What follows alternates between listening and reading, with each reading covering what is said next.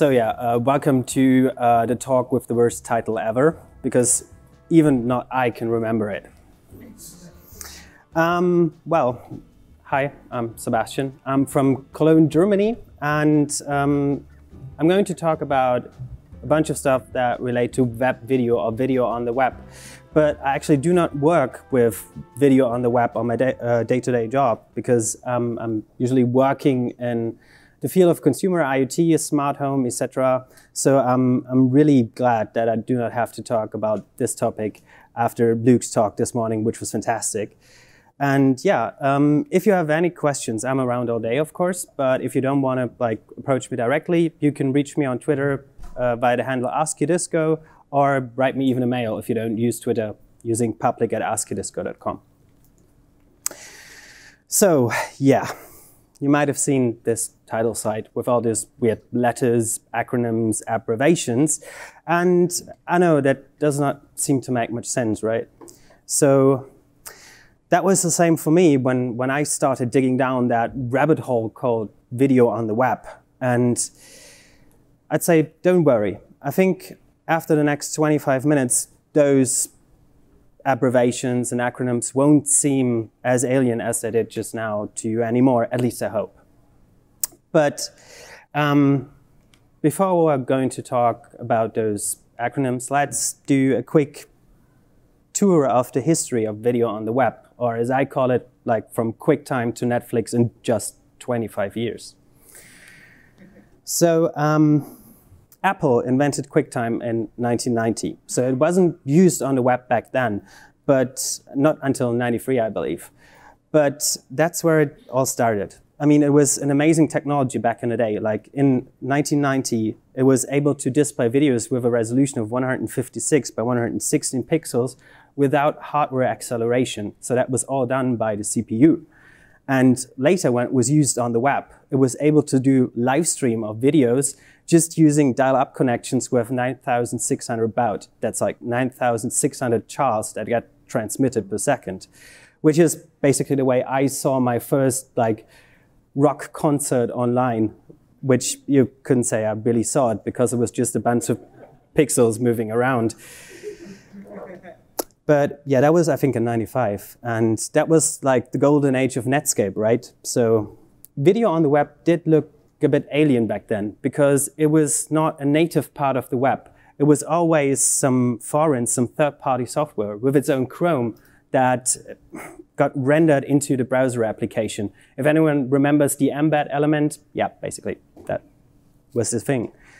And yeah, later on in 1997, Macromedia released the Shockwave player. So in the meantime, we had different things like the real-time player or uh, many bunch of other stuff. But in 97, they released the, the Shockwave player. It wasn't meant for video playback back then. That wasn't a thing until 2002 when they shipped the first version that supported the Sorensen Spark video codec, which was loosely based on the H.263 spec, which then later was followed up by the H.264 and H.265 spec, which is what we use on a, for web video nowadays. And well, later on, the Shockwave player became the Flash player. Um, Macromedia got acquired by Adobe. And yeah, but before that, they were actually able to ship like a video codec which was optimized for low resolution video and especially small file sizes. Um, this is a demo video, original demo video from Shockwave from 2002, which is like the launch of a Soyuz spaceship or something like that.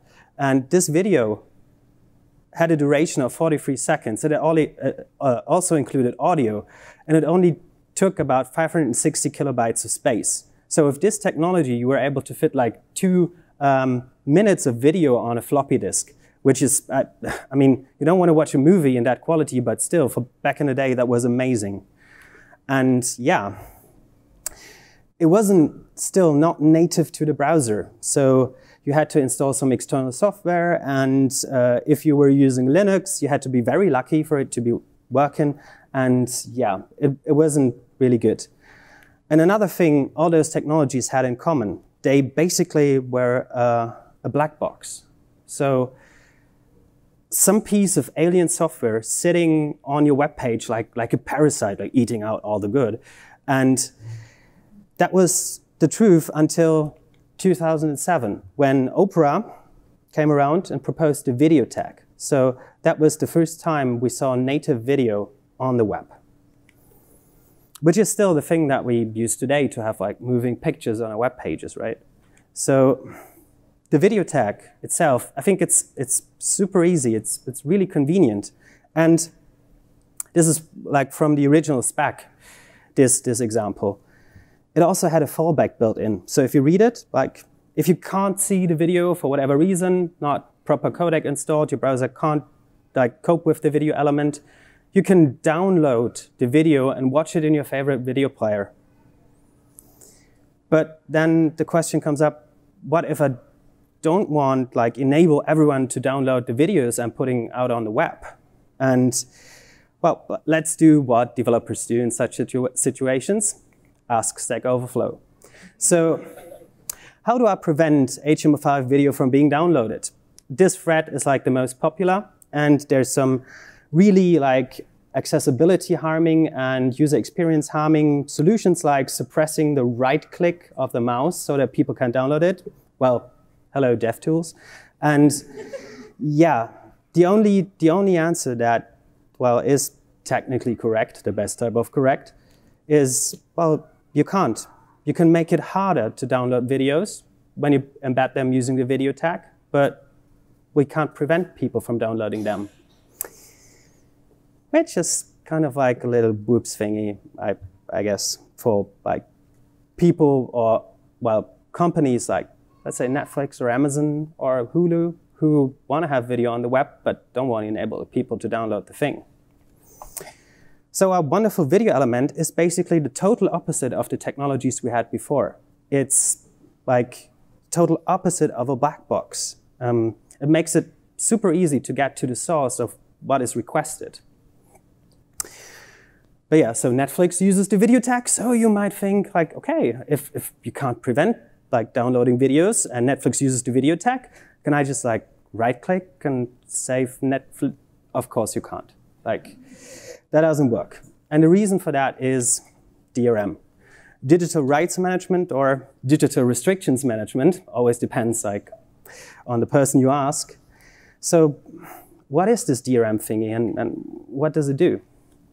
Well, first of all, DRM is not a single technology. It's not like this piece of software. It's not like this piece of hardware does, that does a thing. It's more like an umbrella term for many different um, like technologies and many different things it stands for. For example, like authentication, uh, user-specific encryption, content-specific encryption, and all the key and licensing stuff. And very important, things like forensics and traitor tracing. So if you have video pirates downloading video from one of the platforms and redistributing that, I don't know, via BitTorrent or whatever, you can trace it back. So theoretically, it's possible to trace it back even to the account the, the person who ripped the video uh, was using like to download this video.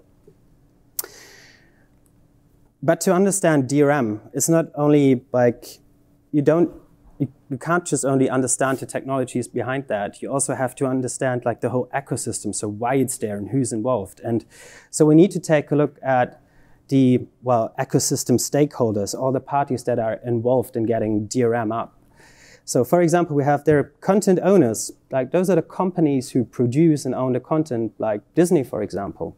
We have DRM cores. Those are the companies who provide technology to encrypt and decrypt or encode and decode those videos, like, I don't know, Google, Apple, Microsoft, and a bunch of others. We have service providers who make like server-side software to do the actual encryption and client-side software to do the decryption. We have uh, browsers and players who are there to play content. Doesn't need, necessarily need to be a browser, but a player, video player of some sort. We have content providers. Those are like Netflix, Amazon, Hulu, those type of companies who, um, well, nowadays they also produce their own content, but usually, especially in the earlier days, they just license them, the content from the actual content owners.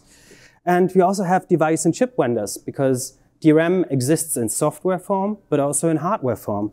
And all of these like companies who work in all of those spheres have a say in, in the DRM ecosystem. So they all have a, a voice, they have their own opinion, and they, they, well, have their own lobby for a couple of things.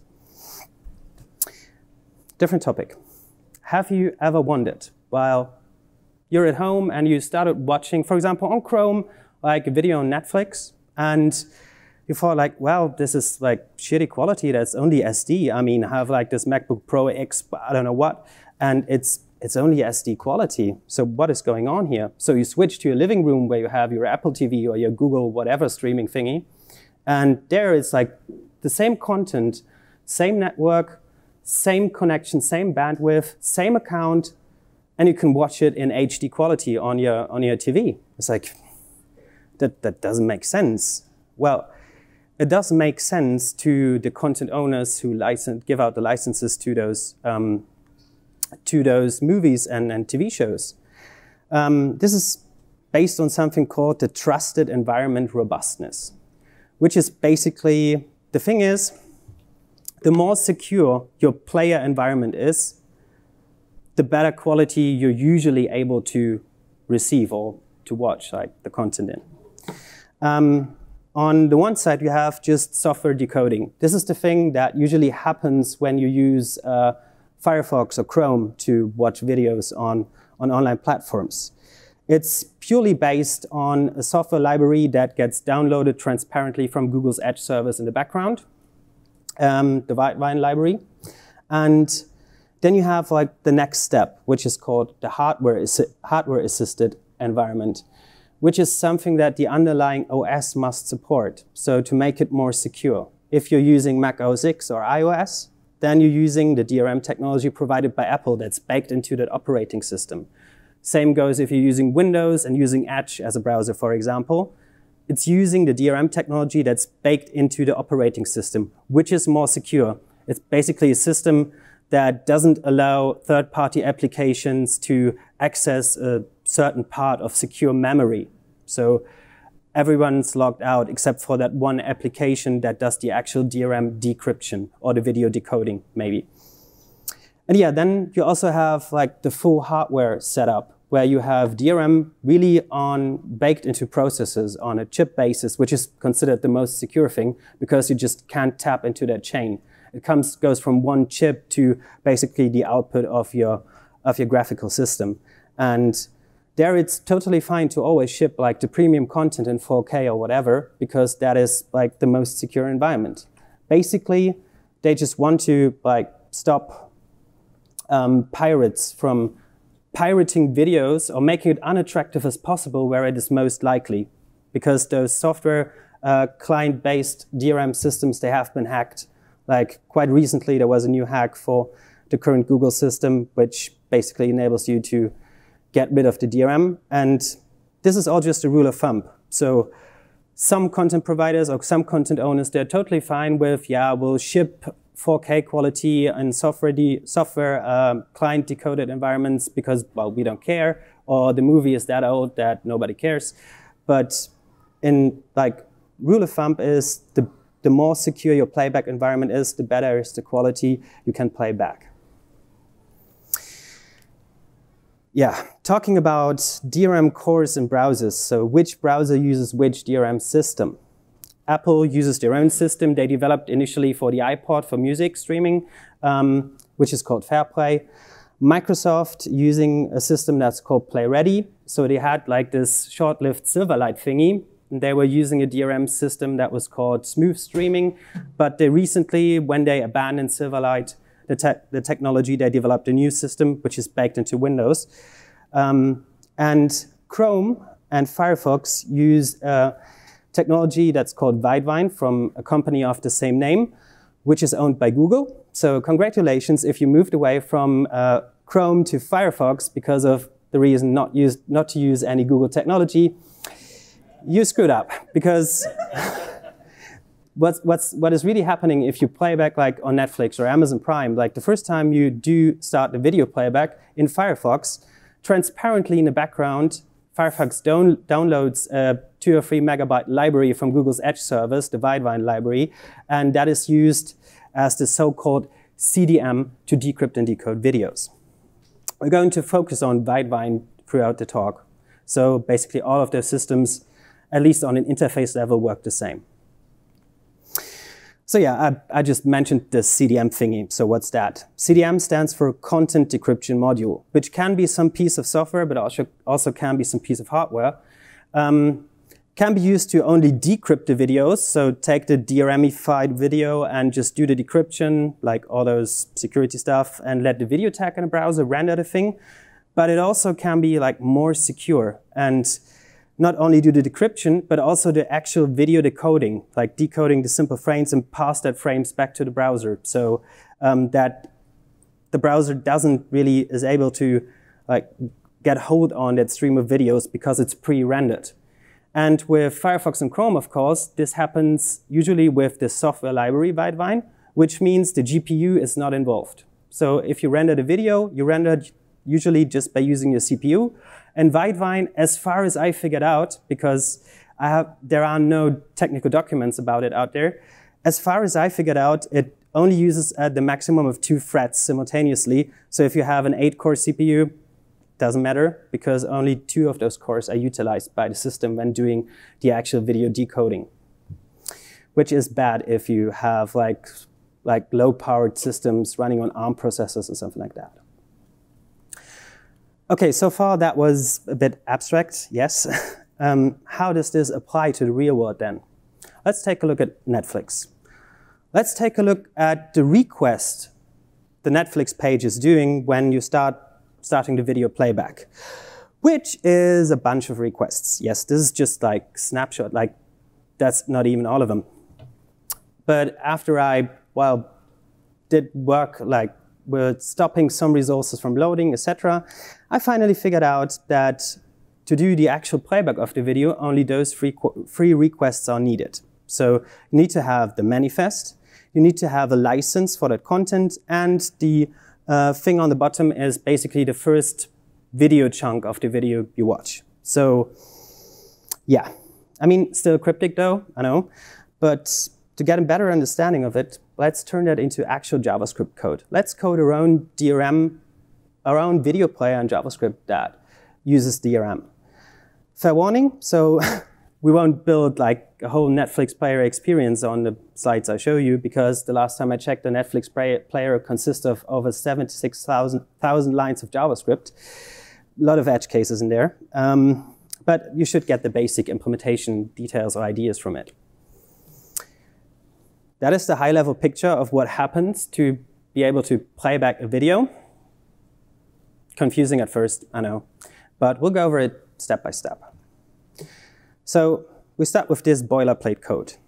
But okay, yeah, before we dig deeper into what each of those functions does, we need to get familiar with one more technology, EME, the so-called encrypted media extensions, which are browser API pretty dumb browser API because they're just an interface to the content decryption module, the CDM, to the key system, to the licensing server system, packaging services. It's a really like just an, just an interface. It doesn't do any decoding or decrypting um, itself. It's just like really an interface to the CDM, the technology behind. Okay, but let's start with implementing the video player. We start with a configuration and in that configuration, which is vendor dependent, we tell the backend system basically how secure our environment is, a trusted environment robustness, which kind of codecs we support, and yeah. So this then later on, of course, determines the quality of the content we're able to play back. Next thing we're going to take a look at is the initial media key system generation. That's like in Germany, in German, we say it's a tongue breaker, if you say something like that. So this is the part where we're actually going to interact with the CDM, the content decryption module. We apply the config and we request access to the CDM library in the background. And once that is done, we need to reference the video element and we created those keys using the CDM system like that black box thingy we're not in control of in the back. Um, that gives us back some media keys, and we apply that to the video element we're going to use to play back the video. So key system is ready now. Um, then we need to get our DRM session going. For this, we use something that's called, like on the media keys object, create session, which returns a new media key session object. It's basically the same thing as you are on a web page, a shop online, and well, have a session with your with your shopping cart. So every time this, this has a one-to-one relation.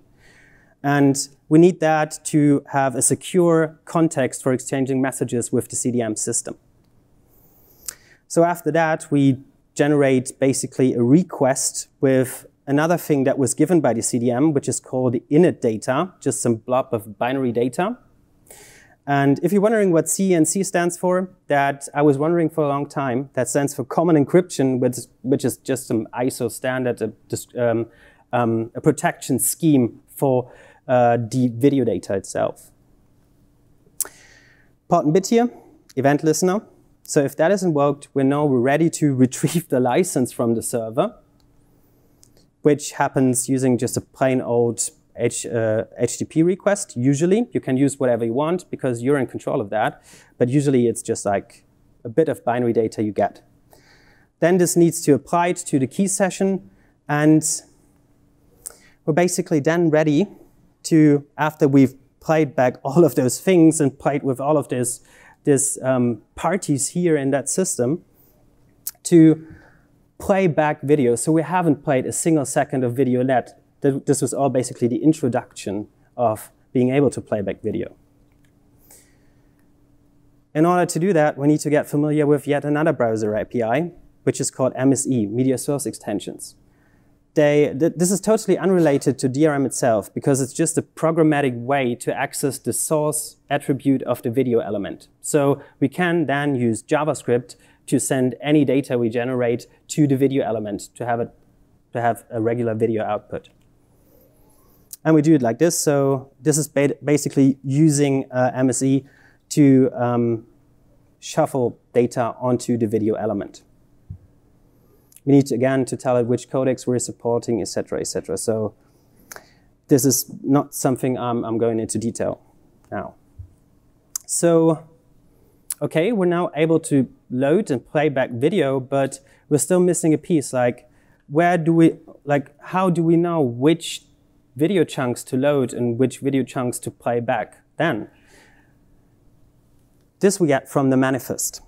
So the manifest, like this is this is basically a manifest request we we issue with Netflix. Again, we need to tell them, yeah, that's the that's the DRM system that we're using, Widevine.